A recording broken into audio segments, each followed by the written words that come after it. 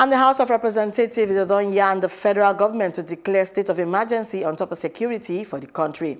And this uh, this one form part of the resolution uh, where they reach a sake of one motion for the need to take investigate the circumstances uh, where they surround the recent killing for 30 travelers uh, from Boko Haram insurgents.